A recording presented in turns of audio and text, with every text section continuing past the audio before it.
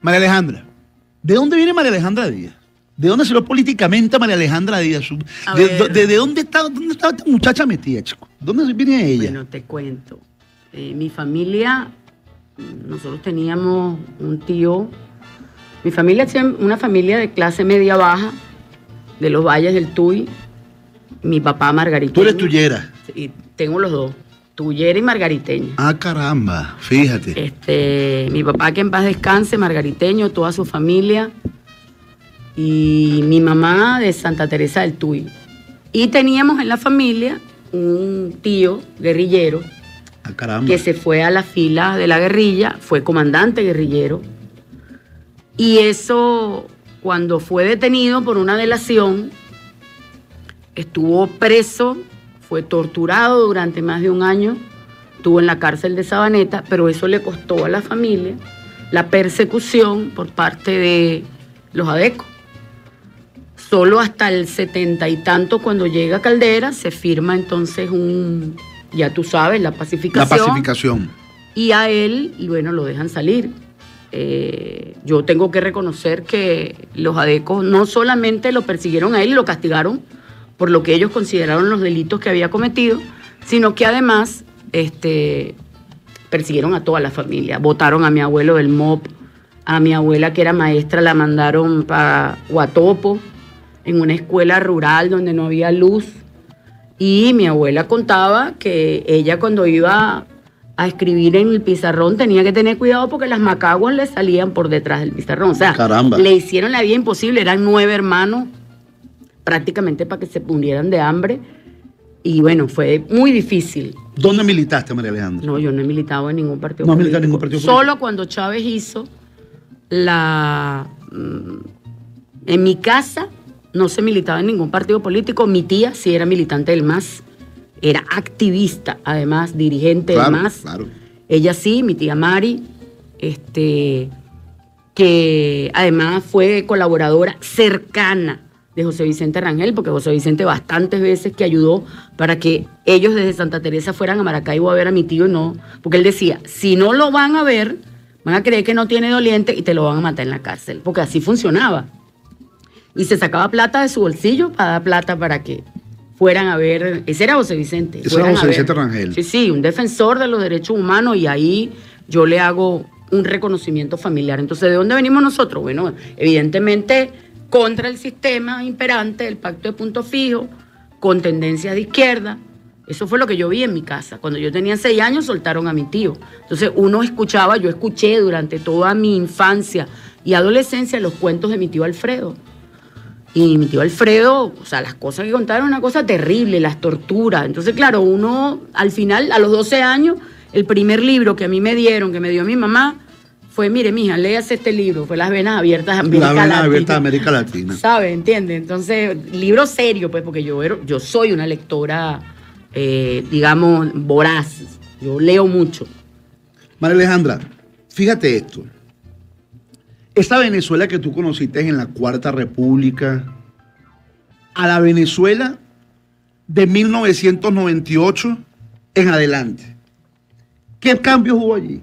¿Qué diferencias hubo? ¿Qué te llevó a participar dentro de este proceso que, se dio en, el momento del comandante Hugo Chávez? Bueno, no, nosotros no ten, yo al, menos no había participado nunca antes como activista política antes del 98. Pero en el 92 hubo un cambio sustancial.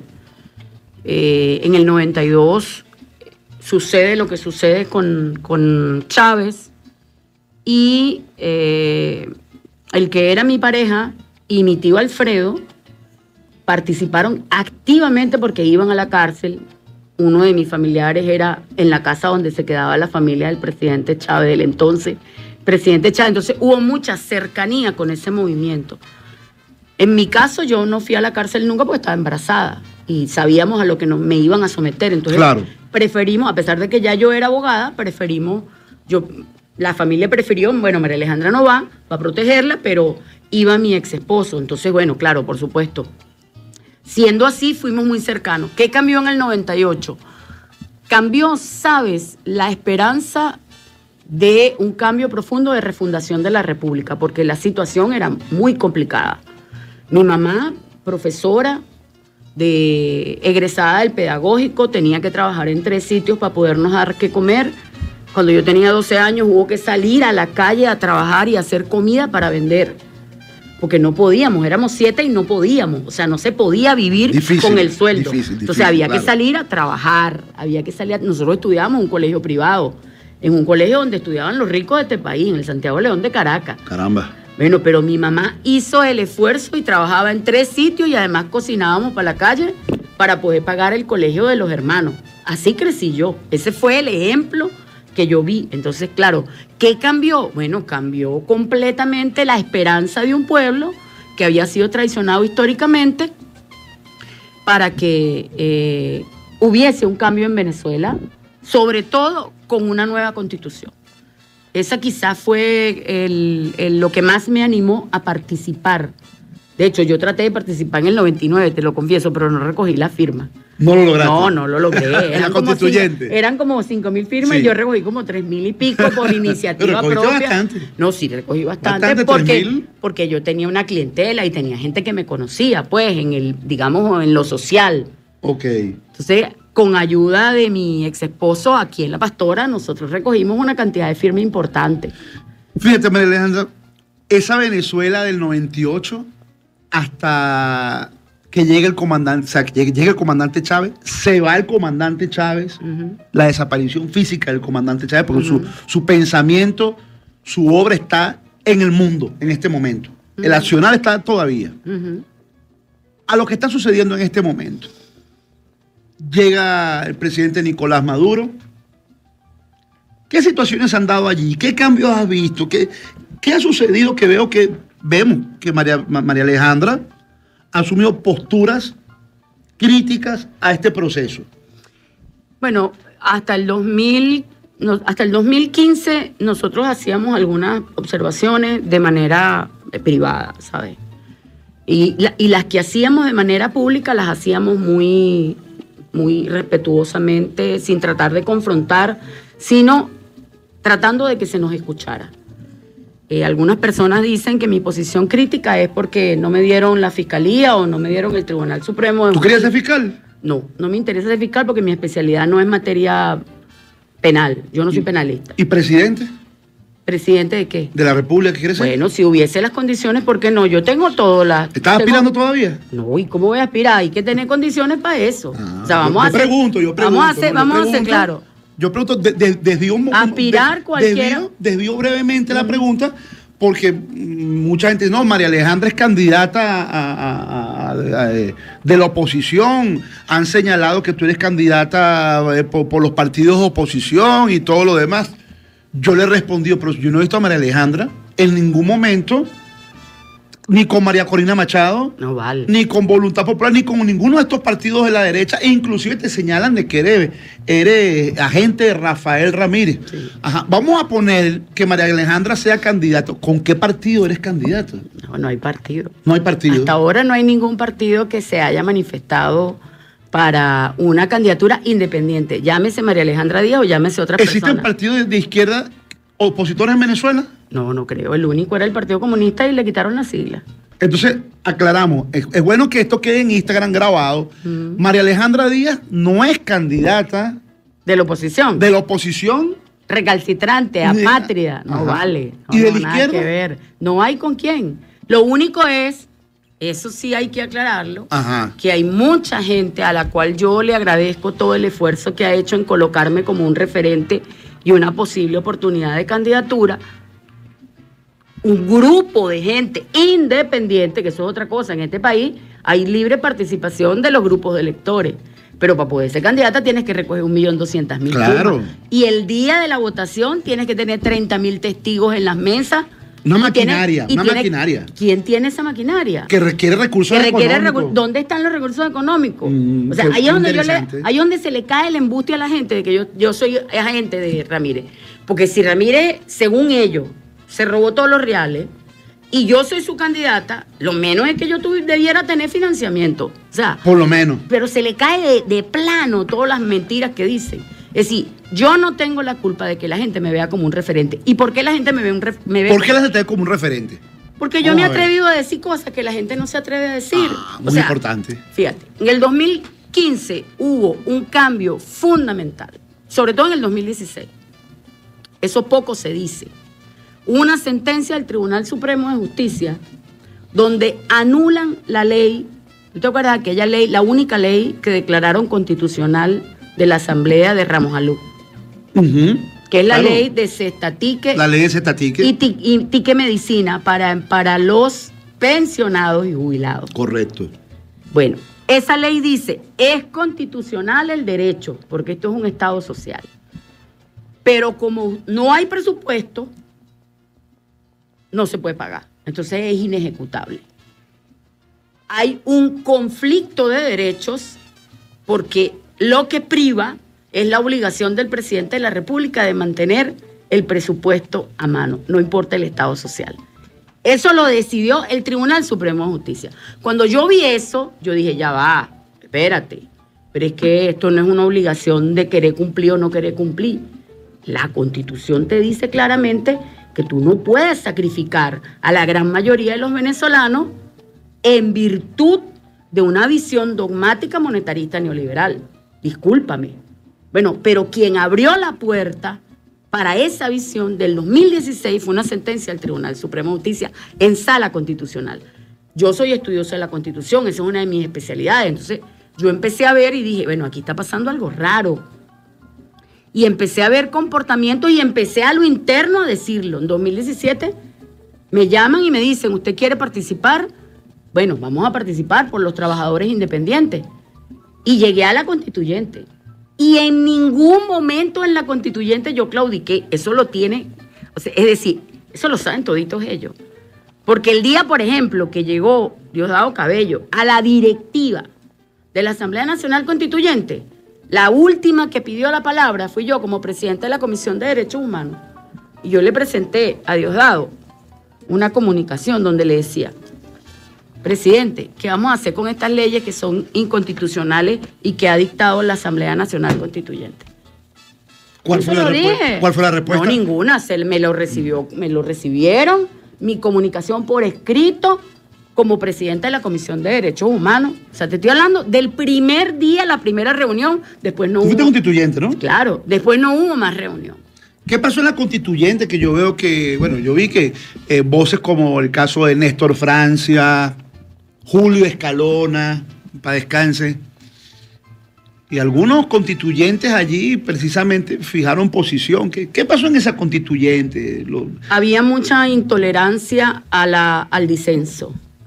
Tú podías en las comisiones discutir ciertas cosas libremente, pero cuando llegabas a la directiva, inclusive el, derecho de palabra estaba pautado ya cuadrado quién iba a hablar y quién no iba a hablar. Es decir, no es que tú pedías el derecho de palabra y te lo daban. No, eso estaba pautado, usted iba a hablar, a usted le toca hablar de este tema. Muchas, al principio nos entregaban los proyectos de ley. Eso ocasionó choque de trenes con un sector importante de los constituyentes, porque mucha gente se, me, se dirigía a mi persona, mira María, ¿qué tal? Esta ley es constitucional, sobre todo las leyes económicas. Y yo le decía, no, mira, esta ley no puede ir porque colide con la constitución por esto, por esto. Y hacía mis observaciones. De hecho, yo tengo al menos ocho leyes en las cuales no voté e hice observaciones y las entregué ante secretaría. Eso poco yo lo he dicho. O sea, adentro la, la cuestión no estaba fácil porque había un sector pro neoliberal abiertamente y había un sector que decía no, hay que respetar y profundizar el modelo constitucional. Y ese sector pro neoliberal actualmente continúa con esa misma fuerza dentro de la política venezolana. Con mucha más fuerza. Eh, eh, ese sector pro neoliberal es el que ha llevado las negociaciones con Fede Cámara, con Comercio, todo, eh, Benanchan, todos estos eh, grupos empresariales. Todo, todo. Pero claro, eso comenzó desde el 2014, por eso te digo. Ah. uno empieza a ver las señales. Es importante saberlo. Uno empieza a ver las señales, pero todavía tú dices, bueno, tienes que pacificar, tienes que llegar a arreglos con estos sectores porque tienes una guerra económica. Te dictaron unas medidas, las primeras medidas las dictó Obama en el 2014. Uno dice, bueno, frente al ataque externo, tú tienes que aliarte con los que tienes internamente. Hasta cierto punto tenía lógica esa, esa práctica. Pero una cosa es aliarte con ellos en condiciones, digamos, de respeto a los principios y al proyecto histórico. Y otra cosa es que hoy, hoy, el reparto del ingreso, según el PIB, al empresario le toca el 69,7% y al trabajador el 20,4%. Y en el año 2018 era el 18%. Es decir, ¿quién lleva el peso de la crisis en este momento? Los trabajadores. Entonces, como nosotros decimos eso, entonces somos enemigos y estamos dividiendo. No, señores. Aquí quien abandonó el proyecto histórico fueron otros. Aquí quien abandonó a los trabajadores a su suerte fueron otros. Aquí quien tiene el salario congelado desde hace un poco de años y además acabó con las contrataciones colectivas, con el instructivo que, nos, que, nos, que no existe del ONAPRE. Seguramente no existe, pero nos lo siguen aplicando. Correcto. ¿Verdad? Sí. Bueno, entonces no existe el 2792, congelaron todas las decisiones, todas las, las contrataciones colectivas están congeladas. Además, te obligan en el 2792 a contratar de acuerdo al plan económico. Y en el plan económico establecieron que la base de cálculo para la unidad tributaria son nueve bolívares, pero para la unidad, para la, la otra, la UCAI, que es la unidad que se utiliza para cobrar contrataciones contrataciones del Estado, está en 40.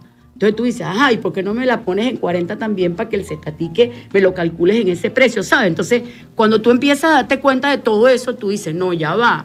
Aquí hay un abandono al proyecto histórico y yo no me sumé a la política en 2002 cuando me llamaron al despacho de la presidencia para trabajar con el comandante Chávez porque nosotros habíamos recogido las firmas de PDVSA, tú te tienes que acordar de eso. Esa fue la recolección de firmas de PDVSA exitosa, donde se recogieron 3 millones de firmas certificadas.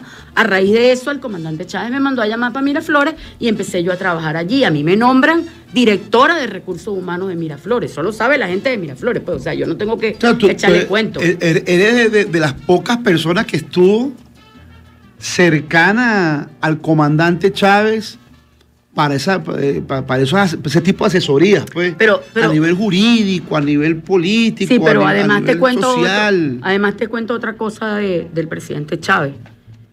Yo recuerdo cuando el referéndum revocatorio. Correcto. Que tú sabes que acusaron a Tascón de la lista de 2004. Ah, bueno.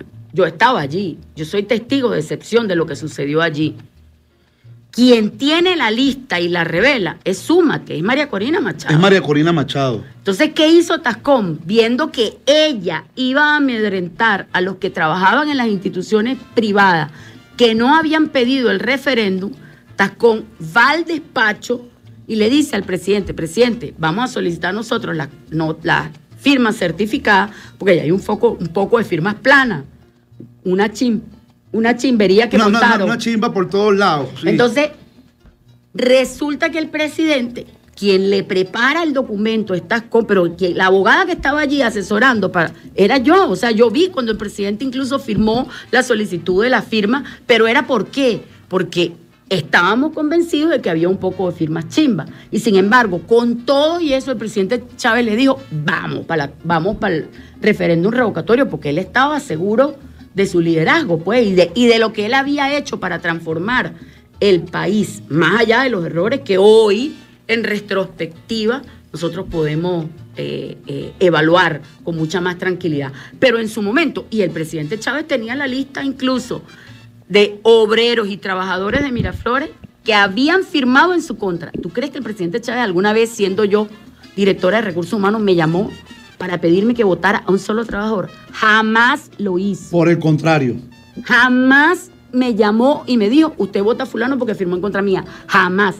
O sea, en ese aspecto, Chávez se comportó como un demócrata. Precisamente, reciente, en, los últimos días se generó una polémica en las redes sociales porque algunos compañeros manifestaron que sus datos estaban siendo utilizados por como en la base de datos pues de, sí, de la base de datos. yo fui uno de ellos. para, la elección primaria. Yo fui uno de ellos. Hay una violación en, cuanto a, mis datos confidenciales que uno le dio al Consejo Nacional Electoral. No lo que pasa es que hay violación o no hay violación allí allí hay una fíjate ahí lo que hay es un uso indebido porque si bien es cierto que ese registro es público ¿ok? Yo no sé para qué fines lo está utilizando la oposición. Claro, claro. Debieron haber hecho una solicitud formal al CNE. Si la hicieron y el CNE la entregó, nosotros no podemos hacer como que mucho, porque están trabajando. Y Ah. ahora, ahora fíjate, el ahora, con lo CNE... que, ahora con lo que viene, El CNE el CNE lo va a asesorar. Sí, el CNE los va a asesorar, ya ellos lo aceptaron, porque no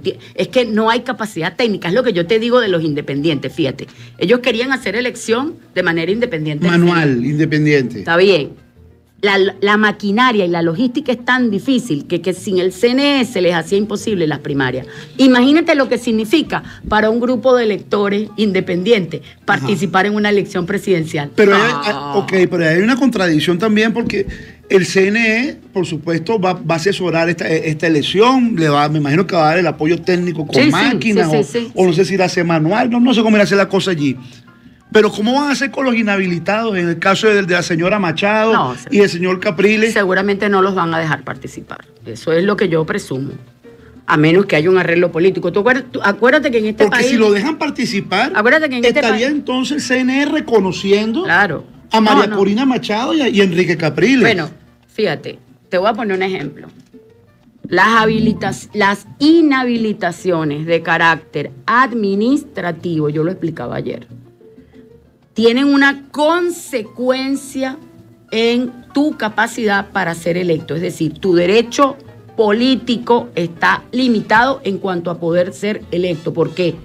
Porque si a ti te abrieron una averiguación por corrupción y, la, y es grave, te cabe inhabilitación para que no puedas manejar fondos públicos. El problema es el tema de los fondos públicos. Ahora, si eso es o no es legal, eso ya se discutió, se discutió incluso ante la Corte Interamericana de Derechos Humanos, lo llevó Leopoldo López ante la Corte Interamericana de Derechos Humanos. Imagínate. Porque a Leopoldo López, acuérdate que lo inhabilitaron, él quería participar en unas primarias con Chávez. Te tienes que acordar de eso para el 2012. Sí, sí, claro. En el 2011, él se fue a la Corte Cuando le gana Interamericana. Capriles y todo esto. Cuando entonces resulta que la Corte Interamericana le ordena al Estado venezolano que modifique el artículo 105. El Tribunal Supremo de Justicia en sala constitucional le dice, mire, usted no puede dar órdenes a un país soberano. Nosotros consideramos que el 105 se adapta tanto al artículo 23 de la, Comisión Interamericana de, de la, de, la, de la Carta de la OEA como a la Constitución. ¿Ok? No hay ningún inconveniente. Hay tres sentencias, pero además hay una sentencia interesante, que es la sentencia que dicta la doctora, la ponente es la doctora Luis Estela Morales. En esa sentencia, ella admite que él no está inhabilitado para participar. Caramba. Eso hay que recordarlo. Lo que pasa es que la gente no sabe esos detalles. La gente no sabe, se le olvidan esos detalles. Claro. O, lo supo en el momento, pero se le olvidan ese- esos Claro. detalles. Esa fue una sentencia muy controversial porque fue una sentencia desde el punto de vista jurídico que no reconoce o declara inejecutable la sentencia de la Comisión Interamericana de Derechos Humanos, pero que en las líneas finales dice, pero él puede participar. Ajá, y entonces. ¿Cómo Ahora se bien. interpreta esto? Ese criterio, ese criterio es criterio vinculante al día de hoy. Esa es la pregunta que tenemos que hacernos. Mira, son las 9.35 minutos de la mañana. Vamos con un tema musical. Y al regreso, yo quiero que tú me hables un poco. Vamos a hablar del Esequibo. Aquí así, ahora sí, ahí agarramos. Ahí estamos Sí, dos. agarramos los dos. Fíjate, el Esequibo. El Esequibo, algunos, algunos están diciendo que es una, una cortina de humo, que lo que tiene que ver con el Esequibo no hay que discutirlo porque la ley es muy clara. O sea, ¿qué opina Alejandra en cuanto a eso? Nosotros hemos dicho claramente que la soberanía no se discute, sino que se ejerce. Pero entendemos que en este juego geopolítico, porque no es un juego jurídico,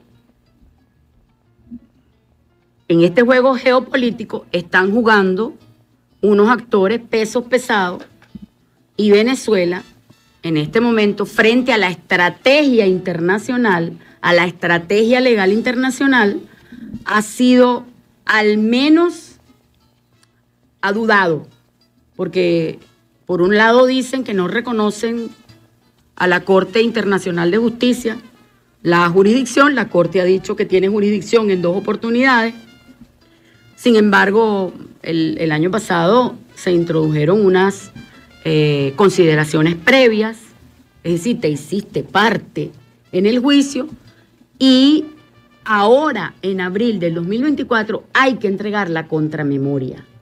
La contramemoria es los argumentos de Venezuela para defender con sus títulos de propiedad históricos el, el tema del Esequibo. Entonces, ¿qué pudiera estar pasando? Que el gobierno quiere ir sobre seguro, demostrarle por un lado a Guyana que tiene fuerza, que el pueblo venezolano, más allá de las diferencias políticas, puede votar en favor del ejercicio de la soberanía, incluso más allá de lo jurídico, porque eso es un escenario. Claro, claro. Es un escenario que no se puede descartar.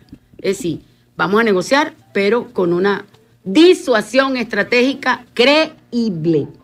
Es decir, tú no puedes renunciar a la defensa de tu territorio porque además estarías violando la constitución. Entonces, cuando tú analizas el panorama, tú dices, bueno, ¿por qué hasta este momento se esperó cuál va a ser la pregunta? Hay que esperar cuáles van a ser las preguntas del referéndum. Si es capaz el gobierno de movilizar a la gente, ¿qué me preocupa a mí? Que como los números del gobierno están tan mal, que no sean capaz, capaces de convocar a la gente y entonces el referéndum no haya sino una baja participación. Eso, lo puede, eso lo puede, utilizar nuestro enemigo en nuestra contra. Es un peligro. Es un peligro. y nosotros estamos en la obligación de alertarlo porque no es un tema eh, electorero, no es un tema politiquero, no debe serlo. Esto es un tema de interés nacional que debe unirnos a todos, más allá de las diferencias. Yo tengo serias diferencias con este gobierno, pero en el tema del Esequibo uno tiene que cerrar filas Ojalá no sea un tema electorero. Ojalá dé resultado la estrategia y que la estrategia sea para recuperar realmente esto y no sea una cortina de humo. Eso es lo que esperamos todos los venezolanos y esa es mi posición. ¿Y tú crees que por eh, eso que tiene que ver precisamente con esas estrategias de movilización? Bueno, el, el PSUV está en campaña. Siempre. El PSUV está en campaña. Ellos no dejan de estar en campaña. Sí, está en campaña. Pero precisamente, fíjate, hoy comentaban en el programa que estaba anterior a este, que eh, ayer estuvo acá el coordinador nacional del Partido Socialista Unido de Venezuela, estuvo Diosdado acá en esta parroquia, en el recreo. Y hizo un recorrido, todo lo demás.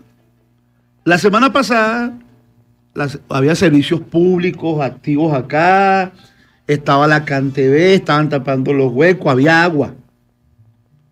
Había agua. Hubo agua toda la semana.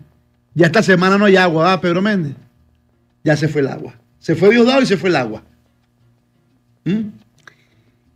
Y así está sucediendo con diferentes situaciones, María Alejandra, que tiene que ver precisamente con, con qué estamos tomando, o sea, cómo estamos tomando el pueblo, por qué el pueblo está rechazando a la clase política, a la élite política, tanto de los sectores de la oposición, pero también como los sectores del partido de gobierno, como el PSUV en este caso. Sí. Porque hay ese rechazo.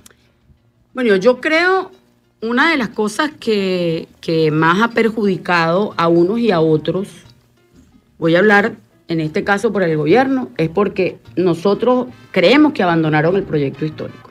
Dejaron a los trabajadores a su suerte, dicen una cosa y hacen otra. Tú los ves, además, de manera grosera la ostentación de la riqueza que hacen. Sí, señor. Mientras el pueblo se está muriendo de hambre y de mengua en la puerta de los hospitales.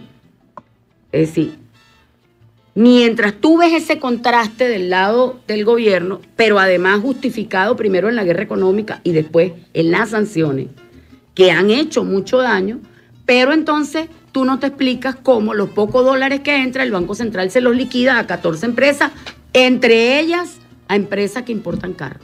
¿Tú crees que de verdad la prioridad. Y empresas Polar también. Claro, no, no, eso lo sé.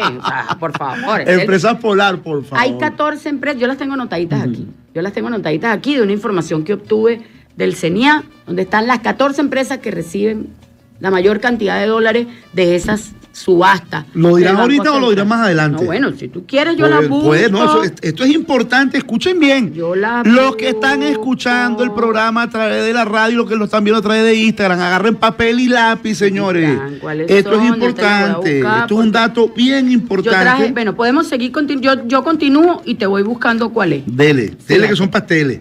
Aquí hay, el problema es que tú sometiste al pueblo a un empobrecimiento colectivo, a una devaluación permanente, porque no tenemos un parque industrial competitivo, pero los pocos dólares que entran, entonces se los sigues metiendo a la locura esta de la importación. Eso no tiene, o sea, tú no puedes seguir liquidando los ingresos del país petroleros, que son de todos los venezolanos, para el mercado cambiario interno, para seguir alimentando a esas empresas. Ya te voy a buscar porque yo las tengo. Lo tiene las tengo por ahí, lo tiene yo por ahí. tengo. Búscalo con yo calma, Traje, yo, traje búscalo mi, con calma. yo traje mi información porque además a mí me causó mucha, mucha indignación cuando yo supe que esos eran los grupos que estaban trabajando y que estaban detrás de.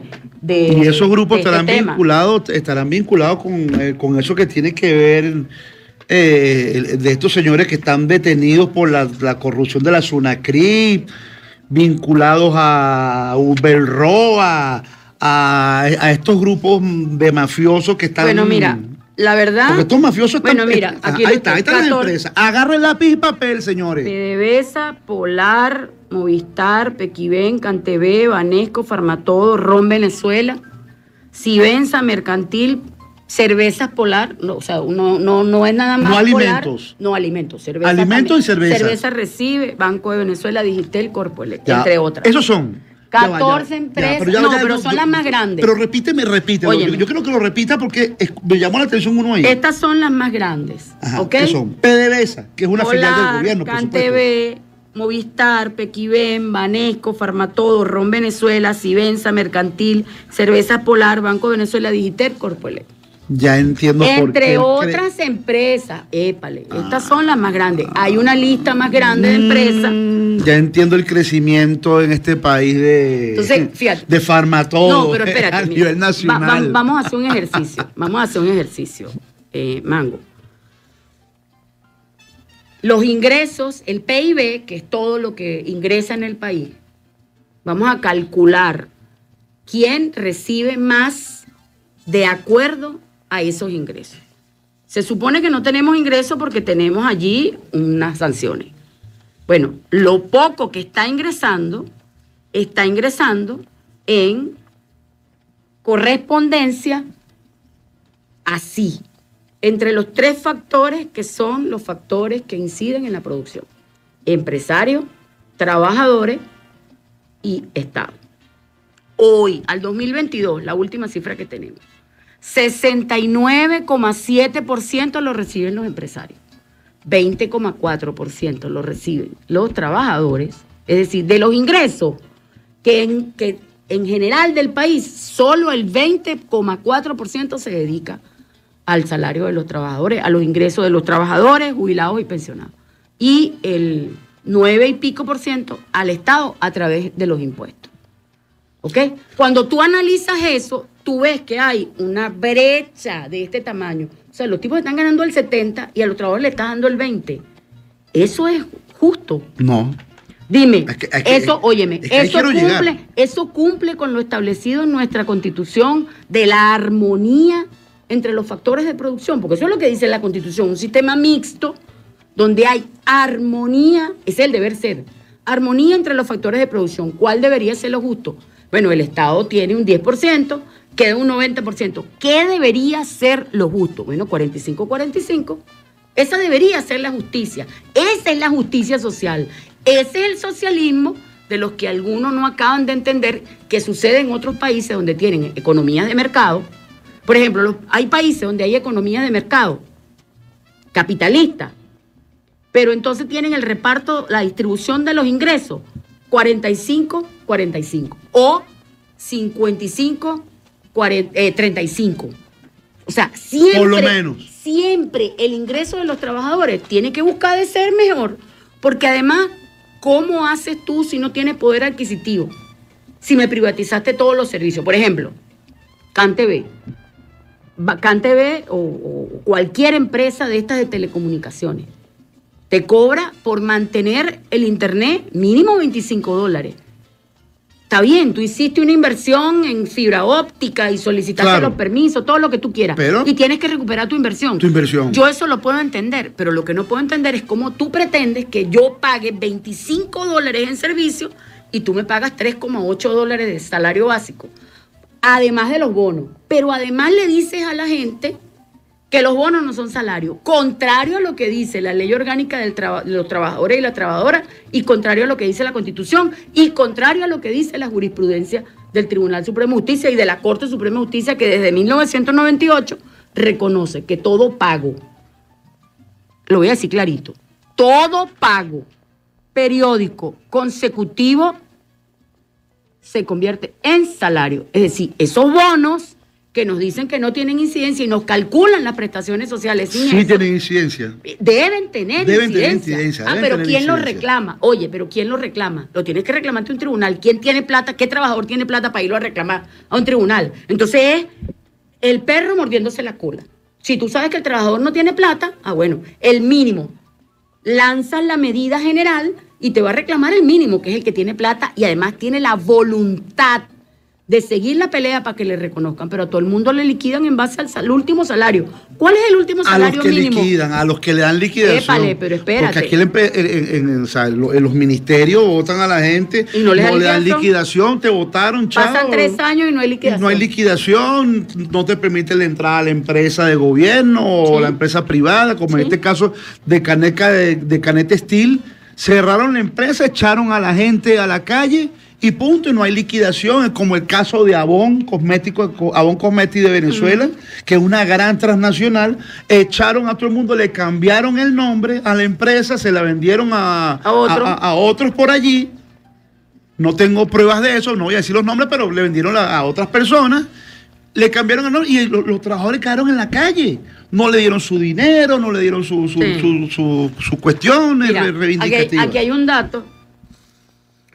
Para 1958, la distribución de ingresos entre los actores económicos, es decir, empleados obreros, empresarios y Estado, 58 era 40,5% para los obreros, 51% para los empresarios, 8,4% para el Estado a través de eh, los ingresos fiscales. 74, boom petrolero. 1974. 1974. Carlos Andrés Pérez. 32,5 para los trabajadores, 64,5. Es decir, Para las hay un pico petrolero y los tipos, ¿quiénes, ¿quiénes son los que más se aprovechan? Estos señores. ¿Por qué? Porque lamentablemente nuestra industria, Mango, desde 1937, un acuerdo que hizo López Contreras, les dio un papel.